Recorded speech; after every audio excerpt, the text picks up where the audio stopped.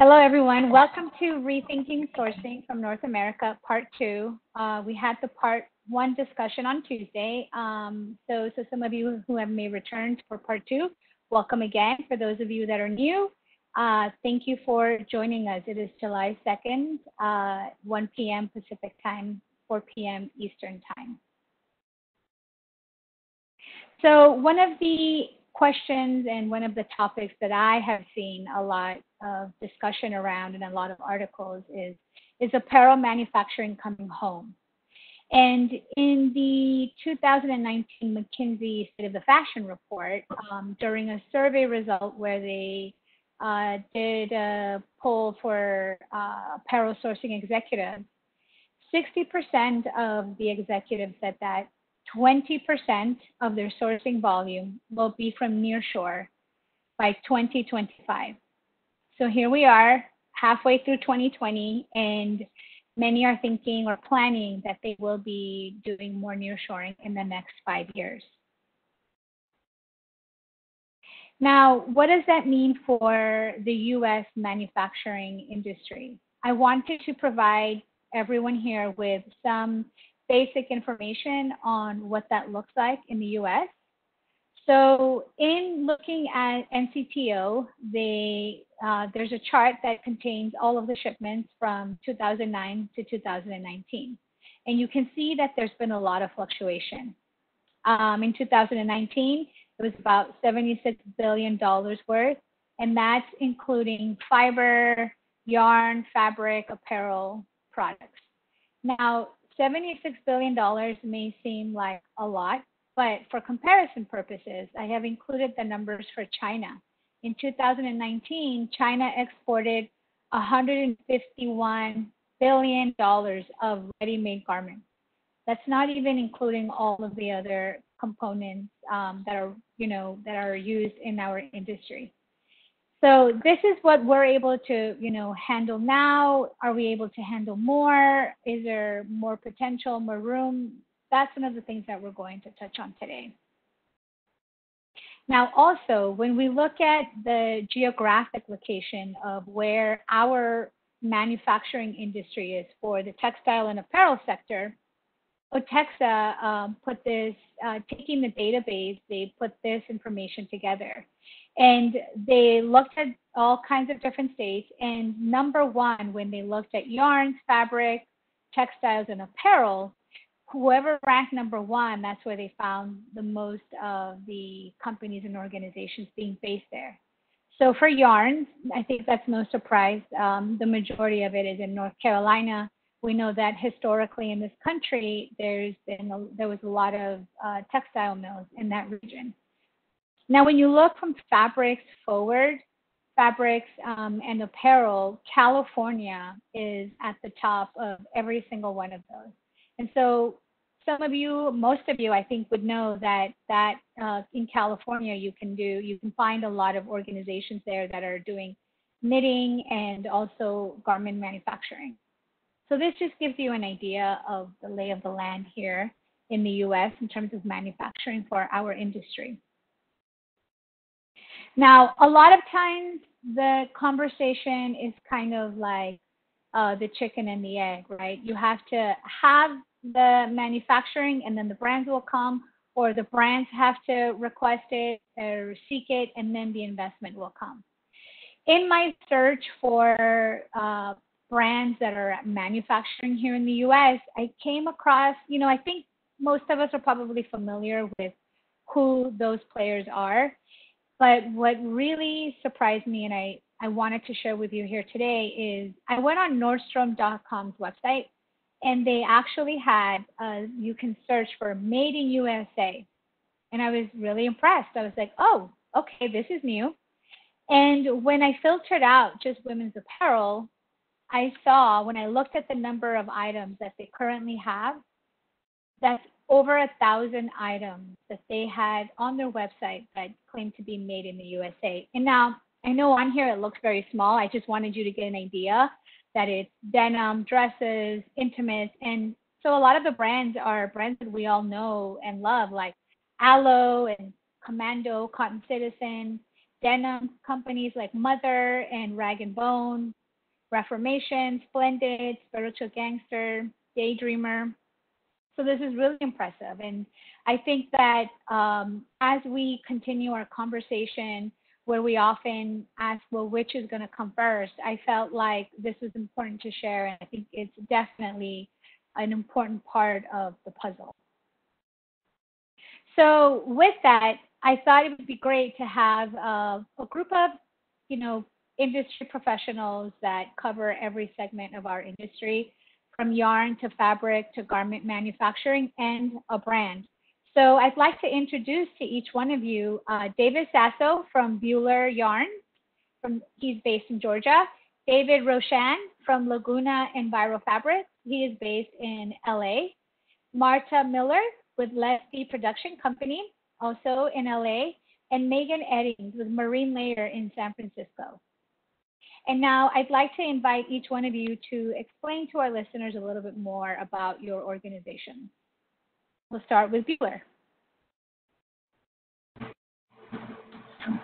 Hi, uh, thank you, Sharon, for the opportunity to, to share our company and uh, hopefully some of the insights that we have from uh, a yarn spinner's perspective. Um, we are a small spinning mill in Jefferson, Georgia, about one hour uh, northeast of Atlanta. Uh, we have been here since 1996 uh, through an investment of a Swiss company called Herman Buhler. Uh, we started out uh, in Georgia spinning really fine counts for the sheeting industry. Um, by 2001, when China entered the WTO, we went from 99% sheets to 95% knits. So we had to do a very, very quick uh, transition from wovens to, to knit apparel. Um, we're not as big as some of the other spinners. Uh, we do about six and a half million to seven and a half million pounds a year. We're known for our modal, uh, tencel, and supima uh, yarns. Uh, currently, is uh, the majority of the yarn spun is ring spun variety, but we have added vortex, and we are at, uh, have added more capabilities to run other or spin other fibers uh, and blend with those particular core fibers. Um, our business is uh, around half and half, uh, 50% exports and 50% domestic. Okay, thank you, David. And next we have the other David Roshan with Laguna Enviro Fabrics. Hi, uh, thank you for having me as a panelist, Sharon. Um, Laguna Fabrics is a domestic knit factory uh, specializing in novelty, sustainable knits. Uh, we cater mainly to contemporary and athleisure markets.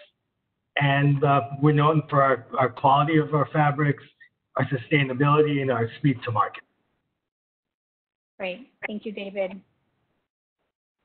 And next we have Marta with Lefty Production Co. Hi, thank you for having me. Um, so nice of you to put this together. Um, so I own Lefty Production Co. Um, we handle the development of the product, so the pattern making, sample making, fitting, marking, and grading, and the development aspect of being able to do it, helping people, you know, find the two Davids um, and kind of guide them on the process and do a lot of kind of consulting through that. And then ultimately, we manage their production and the supply chain. I also have this slide here. And then uh, next we have Megan Eddings with Marine Layer. Hi, everyone. Um, so I'm with Marine Layer. We are a California-based casual lifestyle brand. We were founded 10 years ago and have just under 50 stores across the country. Um, our stuff is known for being super soft, so we make all product categories from t-shirts to fleece, um, outerwear, jackets, dresses, pretty much anything that you would want to wear in what we call a seven day weekend, um, which we all love to have. um, so I'm going to jump to the next slide.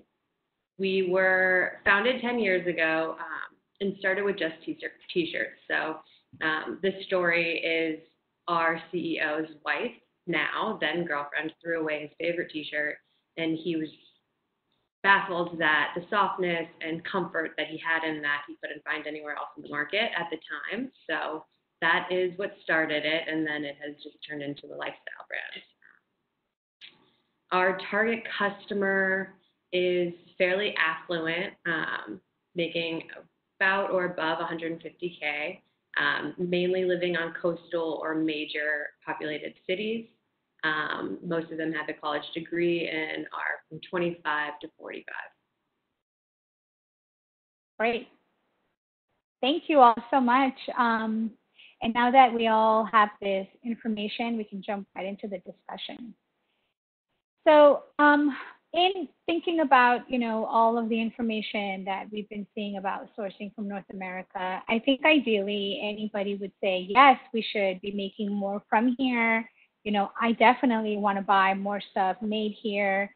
But at the end of the day, you know, in the past few years, like I showed the chart with all the shipments, that's huge fluctuations and how we hear a lot that at the end of the day, brands or even the consumers, it comes down to price. So I know that that's probably, you know, I would say that's one of the biggest challenges about sourcing from here. But I'd like to hear from you guys that are making things here. What would you say to our listeners as to what is one of the benefits of sourcing from North America and having products made here? Go ahead, Marta. Oh, sorry, you're muted. Thank you. I think we're entering just such a different time. Um, I think a lot of people care a lot more about sustainability, which is a wonderful thing.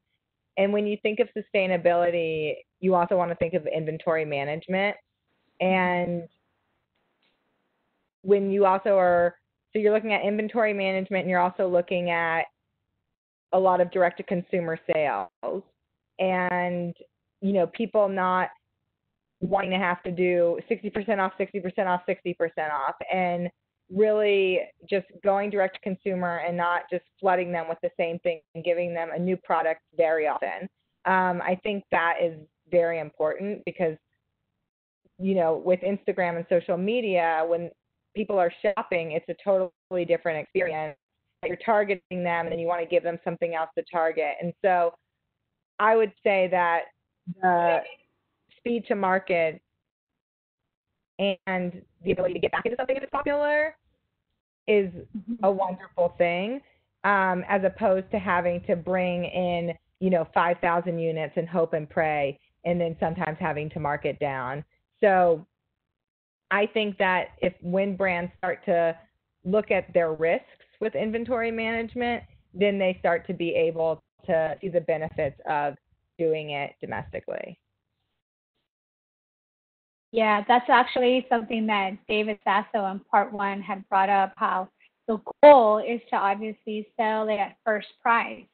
We, you know, the industry has gone into this mode where everything, you know, and, and the consumer expects the sales and and waits for that, right? And there's it's always promotional, and it ends up hurting the industry in the long run.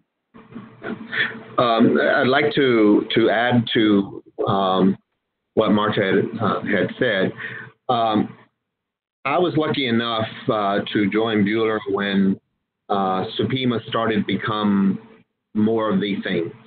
Um, we started out basically with LA brands. Uh, remember, we said I said that we went from 95 to 99% wovens to 95% knits most of that came from the demand of Supima yarns in LA. Uh, Michael Stars, James Perse, Three Dots.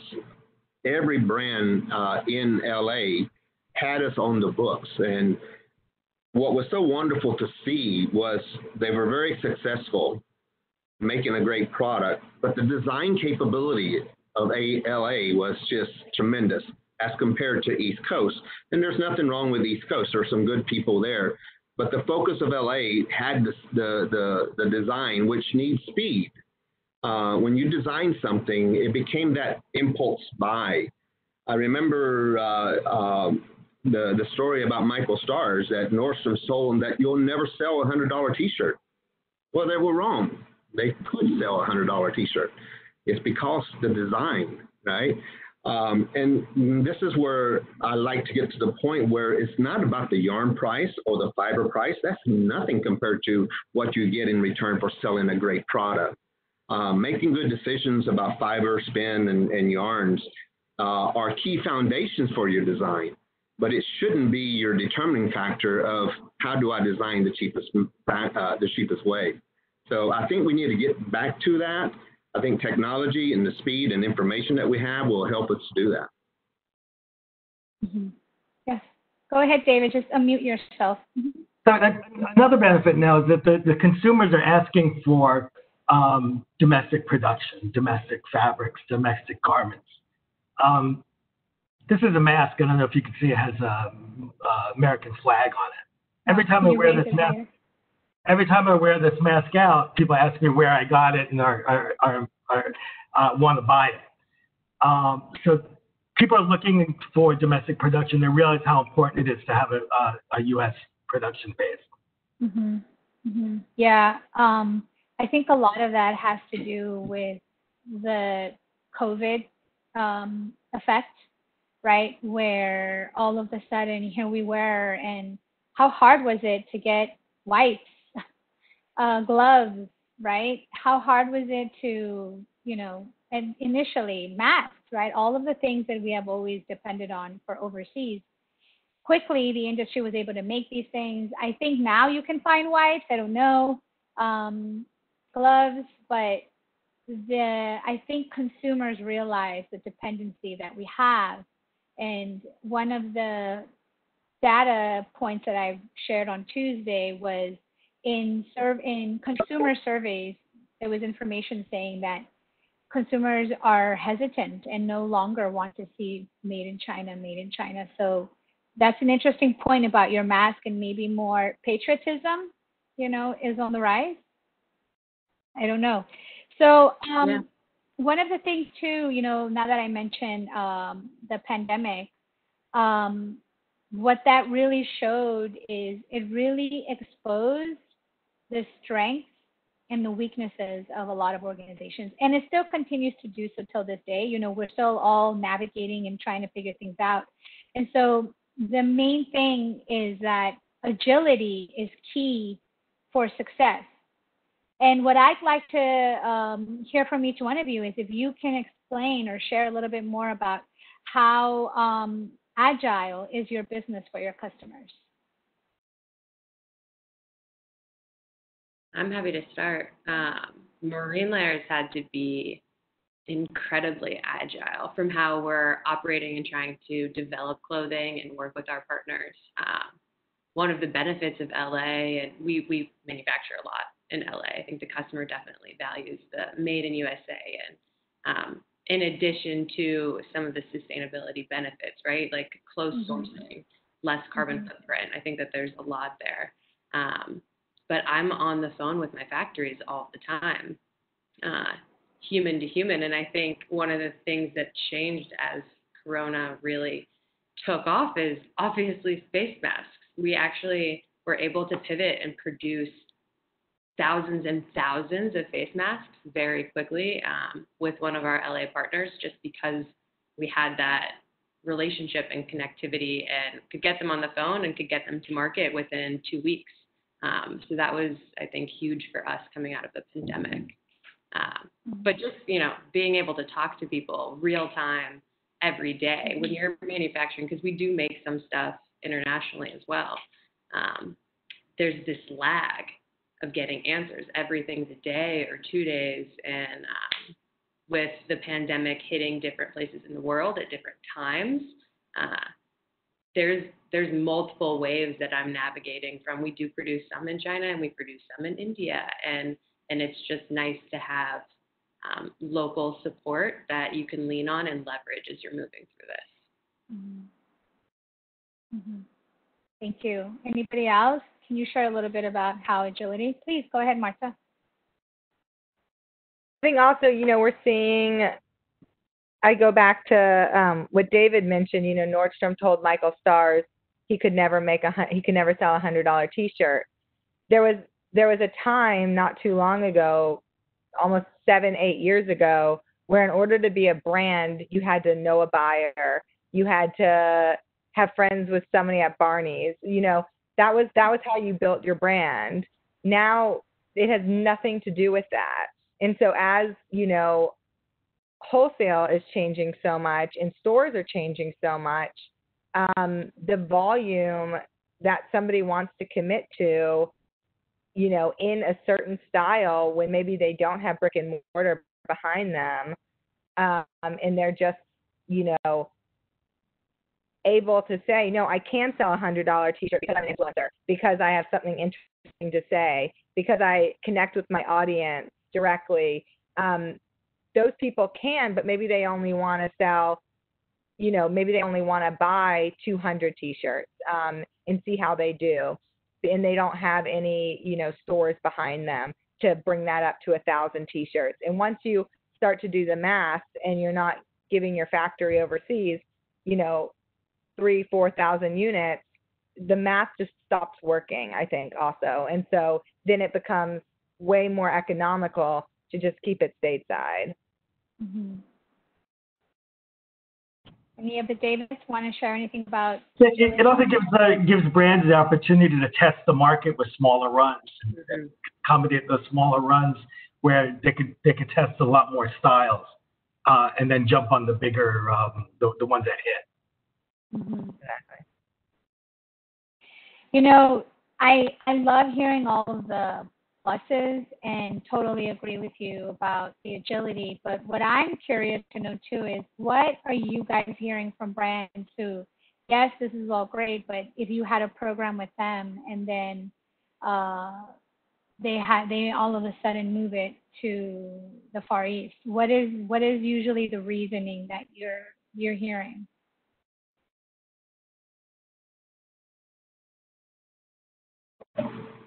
I think the the bigger the brand or retailer, um, the more focused they are on price um, and bringing it over to this hemisphere. They're not focused on so much uh, the turnover that they can achieve, the changes that they can achieve by being close, the communication.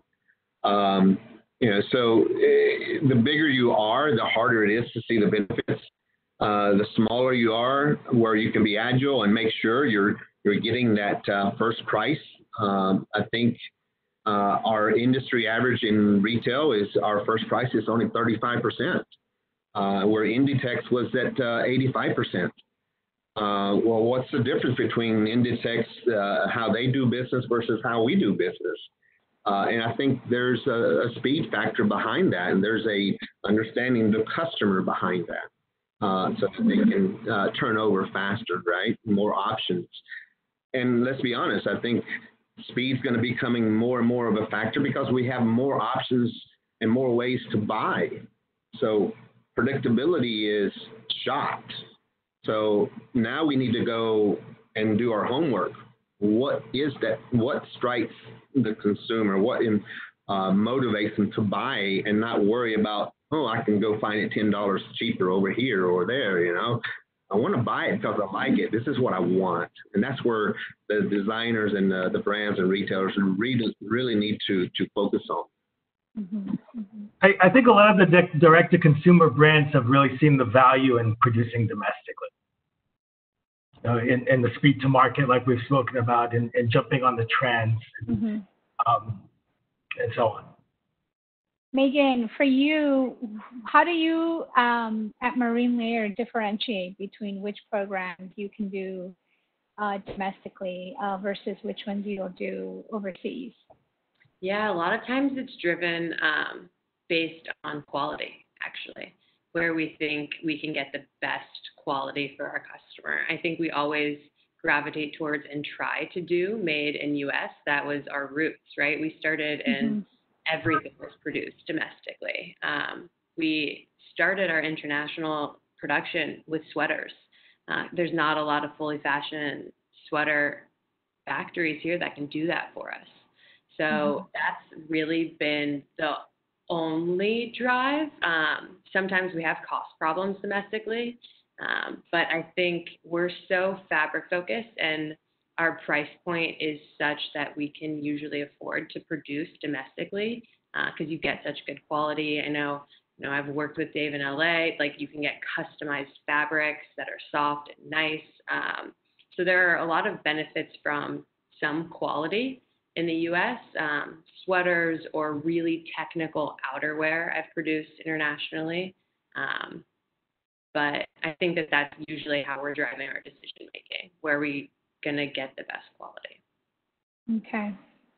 Um, in speaking about um, looking towards the future, you mentioned about quality, and then on Tuesday, David Sasso, you remember the comment came up about, oh, we need more machinery, um, and your response was, well, you're not going to do all this investment unless you know that the business will be there to to fund right that investment and that you can make profit. So you know it's interesting. I think that you know yes you there aren't uh, full fashion sweater manufacturers here in the us but what you know david sasso what do you think is probably one way that we can address that? Do we say we're only going to focus on fine knits and denim and everything else other people can specialize in another region. You know what do you think is the answer for that? To keep more of the manufacturing here? One is um, understanding what is here. Um, second is uh, understanding uh, not only the equipment's here but the knowledge the know-how to do that. Um, you know, it's amazing um, that one knitter dye house go out of business, another one pops right back up. What is it that they see that the other did not see? Um, you know, it, it's is it because, and I know there's a, a, a current plan to add another manufacturer in Georgia from knits all the way to apparel and, and prints. And the one thing he keeps saying is speed, speed, speed, uh, and doing it right, of course. Um, but he has an idea of the overall concept, uh, but he has no orders uh, with a brand or a retailer that says, I'm going to uh, get in with you from the very beginning, and you have the uh, uh, the justification to spend the money. Mm-hmm. Um, but what we need is trust on top of uh, what is just plain market uh, situation that going forward, the U.S. needs speed. Um, but more importantly, I think the U.S. when they make something, it needs to be something special, not a commodity. Uh, but that's the, the point where the brand and retailer really needs to connect with. I'm going to be investing in this uh, equipment, so what does that mean for for you and me? Uh, and let us make something that's truly uh, a need uh, for this hemisphere, um, whether it's fine gauge, coarse gauge, sweaters. Um, the, all these things need some type of justification for uh, investment. The banks are going to ask the same question. What makes you positive you're going to sell what you make? I got a, a list of uh, brands and retailers ready to support me uh, on this investment. Mm-hmm. So we need trust. We need commitment. Right, right. How do you guys see um, the remainder of 2020 looking for in terms of sourcing from North America? I mean, we know um, in March and April, maybe even May, it, the whole focus was on masks, right? Now stores are opening up, consumers are starting to venture outside, maybe a little too much, and now we have to close back down. But how, what do you guys see as sourcing looking like for the rest of the year? Are we still going to be making masks? Yes. yes? yeah, actually, I'm starting to develop three other masks as of yesterday. It's been so successful for us. I mean, maybe the comfort side um, that we're so closely tied to. Like everything we want, everything we make, we mm-hmm. want it to be really comfortable. So having that on your is probably relevant. Um, but the customers have very much responded to that. So for sure. And then also comfort. right? Mhm. Fleece. Um, like as we're a lot of people are still going to need to stay home. You want to be comfortable and look cool doing it. So for us, it's going to be definitely knits, um, or loungewear. Can and, and what is that telling us? That if I am going to go to make PPEs and not make uh, uh, apparel fabrics, is it because it's far more lucrative to do masks, PPEs, gowns than it is uh, uh, clothes that we wear every single day? Something is broken here.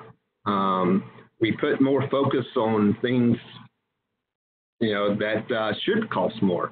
Uh, we shouldn't be going to the lowest price in, in apparel. Uh, we should be finding the value between price and, and uh, quality uh, uh, and design. There's, there's a, when everything is based on price, and of course, man, I haven't sold the first pound of yarn except for full fashion masks um, in PPEs. Now, why? Is it because of price and they were maximizing profits? It's um, it's really uh, uh, I think there's a message here that I'd rather do PPEs than I rather than the business that actually I got into for. Yeah. I mean, I think a lot of that has to do with the fact that a lot of the retailers have so much inventory that you can't even, you know, um, and this is why I asked you guys, what does 2020 look like? Because I know a lot of the conversations I'm having are for developments for 2021 and 2022. I mean, obviously, because no one is producing for this year right now, but um, I'm just curious as to see what what are your thoughts? You know, what are you thinking? Is 2020? Should we all just put our gone away for vacation?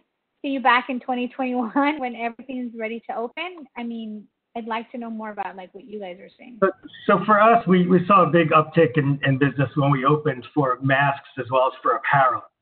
Um, but there's so much uncertainty for the next few months. We have to see where it goes. But Mhm. we were very pleasantly surprised with, with the business that, that we received when we opened.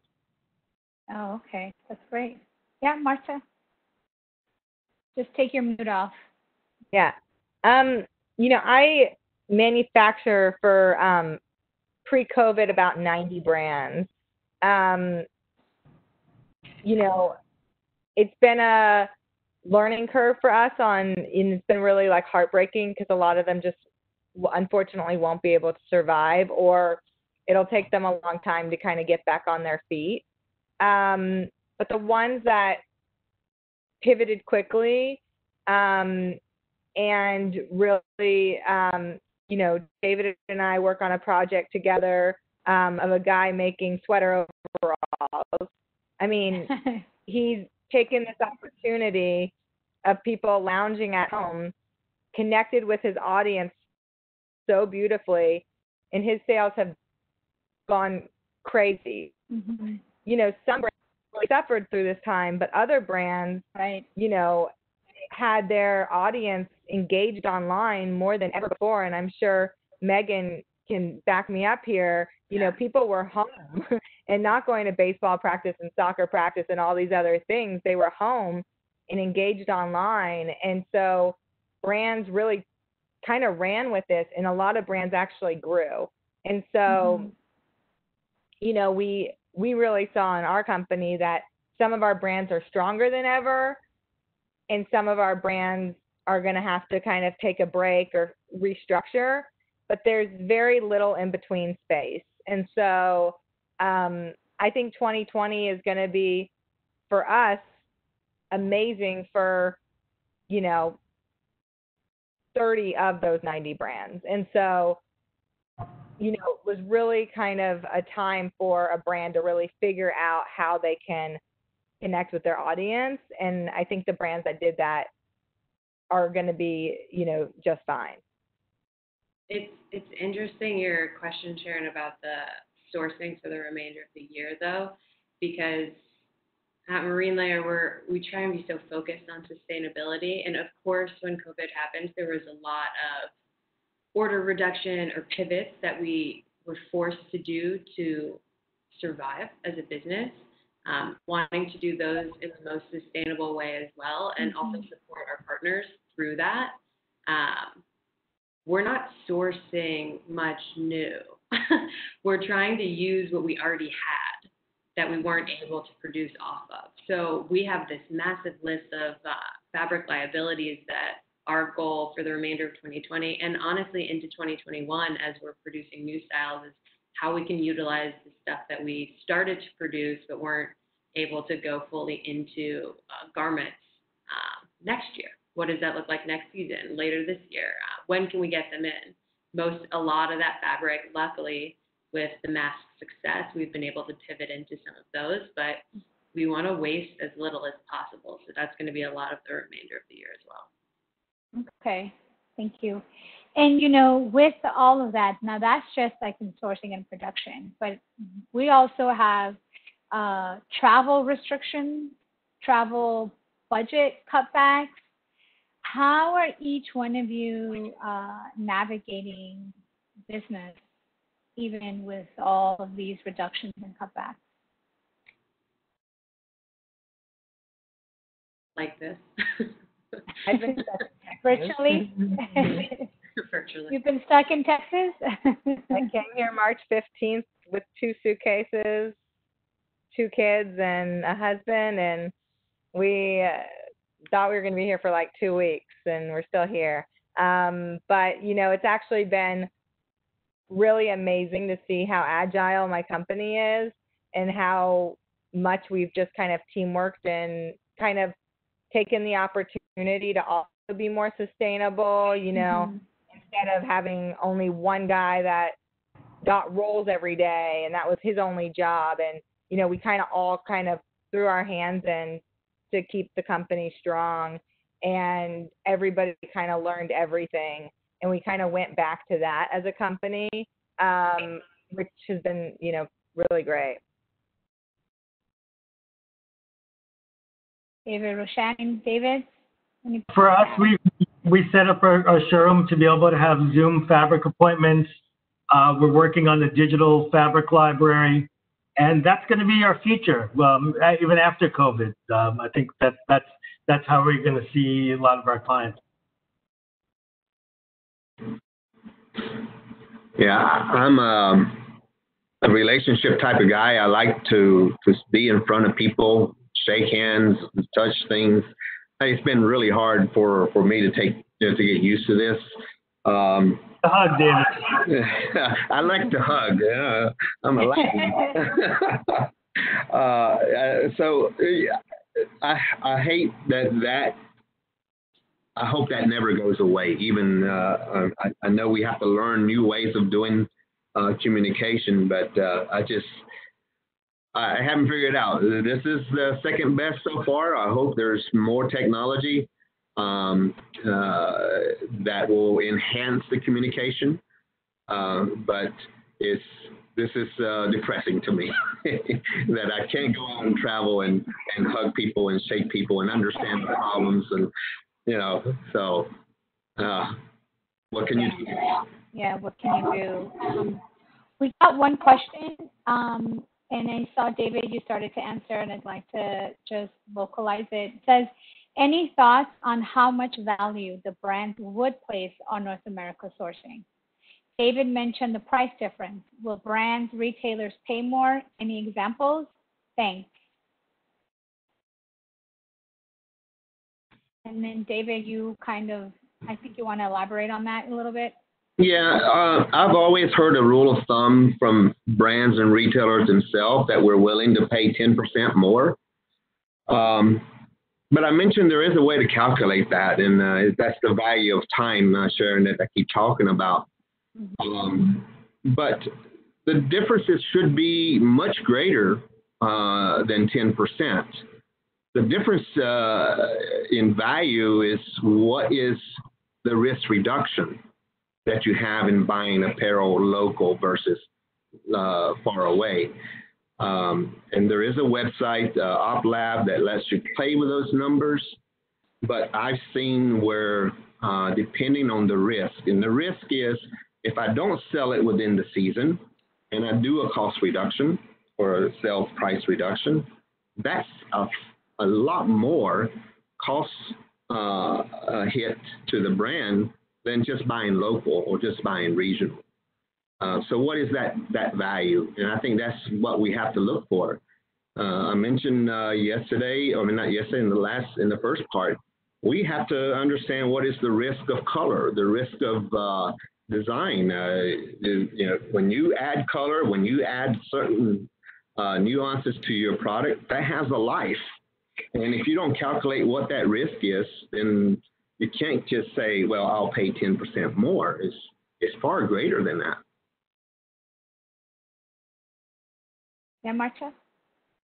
I think there's also some branding behind that too. Um, you know, I'm wearing an Aviator Nation hoodie. That thing, it's just not going to go on sale. And I, as a consumer, find the value in that. I, I, it's whereas if I walk into Gap, there's no way I'm buying something full price. Like I expect a sale, and that's what that's what Gap has trained you to do.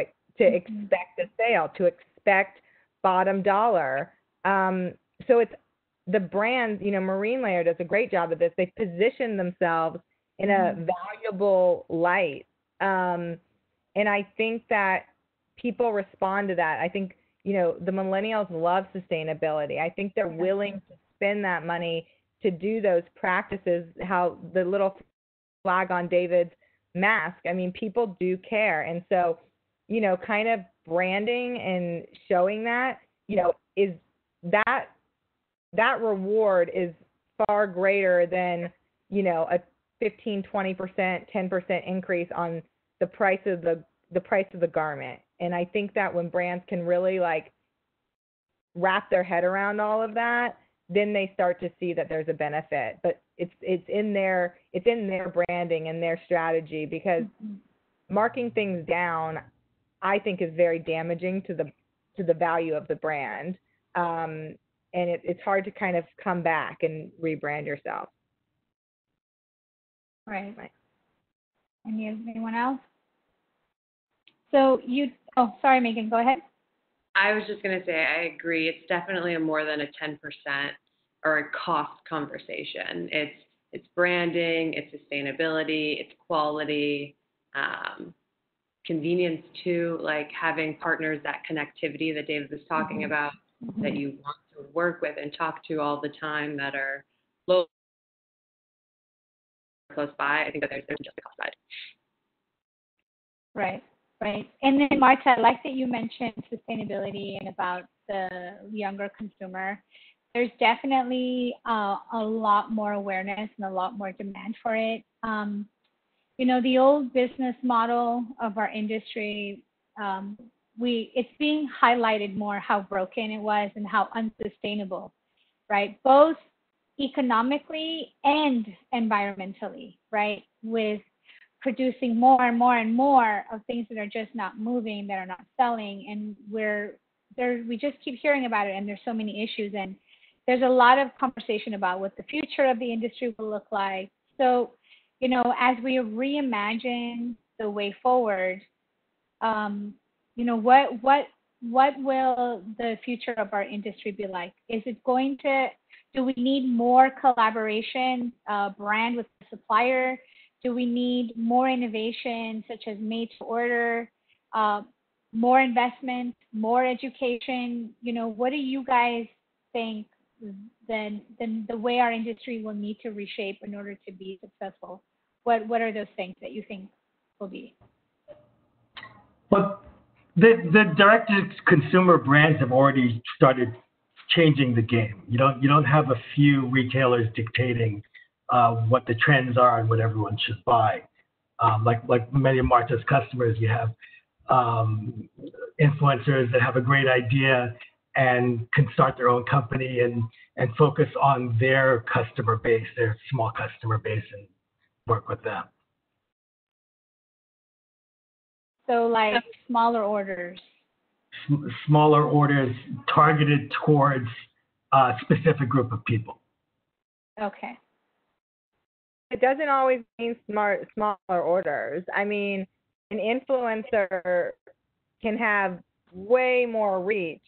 Um, you know, it's it's not just because it's, but their overhead is less, right? You know, maybe the influencer has one assistant and they have an idea and they're, you know, going to go with this idea. They have maybe one or two people on payroll. You know, they're Mhm. not these huge fashion houses that have, you know, 12 tech designers and, and you know, all of these other expenses. And so, you know, they can they can spend a little more on the garment, um, but they're selling it direct. So, you know, they're they're making their margin, um, you know, for sure. They're not going to trade shows. They're not going. They're not spending all these other things that the industry really trained us we had to do. I think Mhm. we're finding that we actually don't have to do any of those things um, in order for a brand to be successful. We don't need a 14 piece collection. We could be successful with a one style. And so, you know, a lot of my brands might have two, three SKUs, um, but they're just matching it with those two or three SKUs. Um, and so it's it's different, but it doesn't always yield to, you know, only 200 pieces. A lot of times, you know, we're getting much larger orders. Okay. Yes, Megan? Um, we've been talking a lot about recently about the ease of purchase. Um, so stuff that's not too fussy, that's easy to purchase and know your size. If you're loyal to a Mhm. brand, platforming around fabrics that are successful, where the customer understands what they're going to get. Um, there's obviously already been an increase in ecom because of just everything that's been going on, and I think that that will continue. So the customer being able to know and feel Mhm. confident that they can order something and they have an idea of what they're going to be receiving um, Mhm. is something we talk about a lot. Okay. I know that I mentioned um, education, and David Sasso, you and I have had a lot of those conversations that, uh, and that's why I touched on it. Um, and I'd like uh, for you to elaborate more on, in order for for this for our industry to be successful, there needs to be more education, more knowledge. Yes, um, the education side, uh, and this goes to, um, I guess, some of the um, uh, bigger retailers and uh, and people of, of younger age that uh, uh, probably moving into the industry without the uh, the background. Um, but the education side, um, when I talk to people that go source uh, far away, um, they have they come back and uh, they're talking to me about sourcing here because they have no clue how to source here. But as we talk about, well, tell me exactly the the fabrics that you're looking for. Uh, they said, David, when I go to Asia, everything is laid out for me, and the prices are all there, and I'm just picking what I want. But here, it's like I'm lost. And I think in order to source effectively in, in this region, you're, going to have to educate yourself from fiber. What's the difference from one fiber to the other? Uh, you know, Tencel and Modal have totally different properties. Uh, Rayon has totally different properties. What's the impact of these fibers in the in a fabric, the performance, and the cost? Um, and to make it successful, the supply chain has to make all good decisions. Everything needs to be known. If we make this decision, it impacts this. And if you're particularly talking about sustainability, just because you got one fiber and it's really sustainable, but the impact could be horrible on the other side. So that's not a sustainable decision. How do you know that before you even make the decision or before you even start making a design or, or, uh, or anything about that? You, you need to start talking about the people in the know that can help with every step of the way. Uh, I can help up to a certain point. There's another person that can help to another certain, you know, certain point. But making good decisions on the methods, the cost, and the impact of every decision in the United States or in this region will really help spur the growth and the trust that we need in, in sourcing uh, into region. I mean, are you guys seeing the same thing, David Roshan, where you're seeing that if people have more education and more knowledge, um, it would make their decision maybe more sensible? Yes, a lot of that has uh, a lot of good brands uh, like Marine Layer is um, has become very good at telling the whole story and educating the consumer on what yarns they're buying. I mean, I, up until a few years ago, I've never I've never seen anything like that before. And the cycle of the T-shirt. Um, so the successful brands are going to become more successful by educating the consumers on, on what's important, what's sustainability, and um, keep driving that. Yeah, you guys do a great job, Megan, um, for sure, on educating your consumer. You know, and like you mentioned, they are a bit more affluent. So, what are you know the implications there? But the fact that you know you do charge more money, but there there are valid reasons why it's not just this huge markup just for the sake of it you know mm-hmm. and i mm-hmm. think that your customers definitely understand that and appreciate that um, so one thing you know in, in talking about education i know that there was also uh, we've had a couple of conversations about uh, profit distribution within the supply chain and I think that this is a really important aspect of sourcing. So I know that in the old way of doing business, the retailer has the largest amount of profit. And everybody else, as you the further back you go, the further down you go, the profit distribution is smaller and smaller. So, for example, at Lenzing, us as a fiber manufacturer, if I'm talking to a brand, you know, a lot of times person will sit across from the table and say, well, your, your fiber is, is a premium fiber, it's very expensive. What can you do to help me lower the price? And we're not even talking apples to apples because that person is talking about, you know, a garment program and challenge, you know, and, and wanting me to lower the fiber price when the fiber has only like this much of an impact. And so um, you know, in talking about re-education, David, you know, you mentioned I feel like that the re-education of cost is huge. Um, and I don't I don't have the answer on how we help to educate, but I'd love to hear from each one of you. Like David Roshan, you mentioned educating the consumers, and that is great. But um, with with the people actually in the industry, um, when we hear these questions or where they're being, you know, they're challenged by their boss, the person might have uh, good intentions and say, you know what, I'm going to go and talk to these North American suppliers. I'm going to call up Laguna Fabrics. I'm going to call up Lefty Production and be like, hey, I want to make stuff here. But the the we're not even speaking the same language. Our understanding is so different. Um, what what can we do to help make have smarter conversations.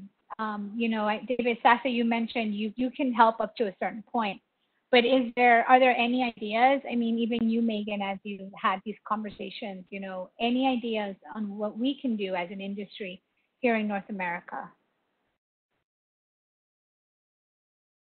Yeah, I mean, I think education within the industry is important. So any any mill or factory that I'm working with and we're going to costing negotiations, if it doesn't work for us at the end of the day, we won't be able to do it. But it, I expect and I hope that everyone I'm working with is as transparent with me as I am with them. Um, because if it doesn't work for you, then it's not a good partnership either. So I think that there has to be this open communication um, where you don't just you don't take you don't just do a lower cost because that's what the retailer is telling you that they want. It's like a dialogue and you, you have this margin threshold that you can't compromise that i always work better with people when i know that. I'm like okay so this is the line that you need to hit. I don't want you to not be successful in your business either. So how can we work together to make that work for both of us? If i bought in mass more or if I platformed against it in a different way. Or I was just on the call with um, a mill in LA yesterday saying that this one fabric's a little bit expensive for us right now. Do you have any recommendations on how we could make it better together?